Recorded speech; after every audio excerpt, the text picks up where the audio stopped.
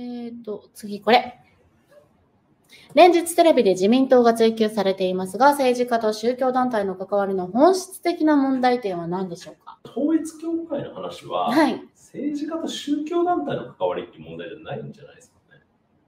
うん。宗教かどうかと関係なく、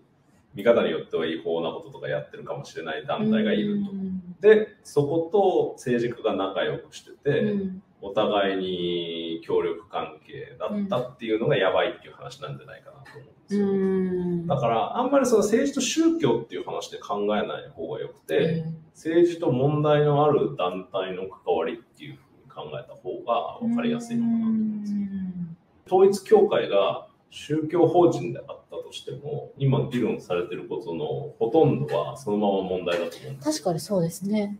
でも多分今回、統一教会についてピーピーみんなが言い始めたのは、うん、テロ事件があったからなんじゃないですか。あーどうしていったら変わっていくと思いますか？この問題について政治家でこうに逃げ切ろうとしてるじゃないですか。はい。で逃げ切れちゃいそうな雰囲気が漂ってるじゃないですか。やばいことやってたのに、いろいろ言い訳して、うんで、時間稼ぎして、逃げ切っちゃってちゃんと問題が追及されないっていうのは良くない。だけど、日本のメディアって、どうでもいいことでも徹底して追及して、撃ち落としちゃうことも結構あるじゃないですか。あります、あります。で政治家の場合はあんまりないと思うんですけど、うんその民間人のスキャンダルとか、芸能人のスキャンダルとかって、うんほとんどどうでもいいようなことで大問題にしちゃったりすることあると思うんですよ。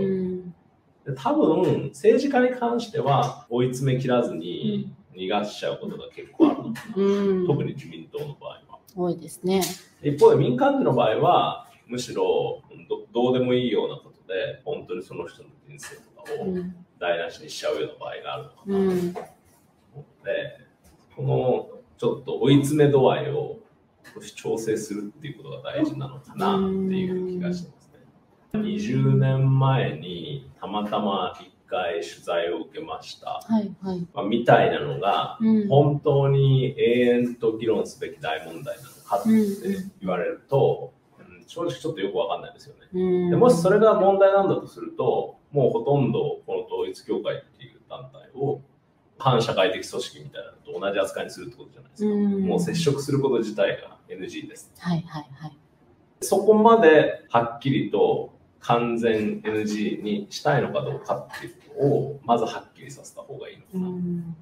だ個別個別の問題についてなんかちょろちょろいろいろ追求したり、うんうーん、あれもありました、これもありましたっていうエピソードを出すよりは、うんまあ、どこからどこまで NG なのかっていうことをはっきりさせた方がいいのかなっていう気がします。芸能界の反社とのつながりとかってそこら辺もうちょっとはっきりしてるじゃないですか。あただ、まあ、政治家とか自民党としてはそこら辺を全般にぐぐぐだぐだにしたいんだと思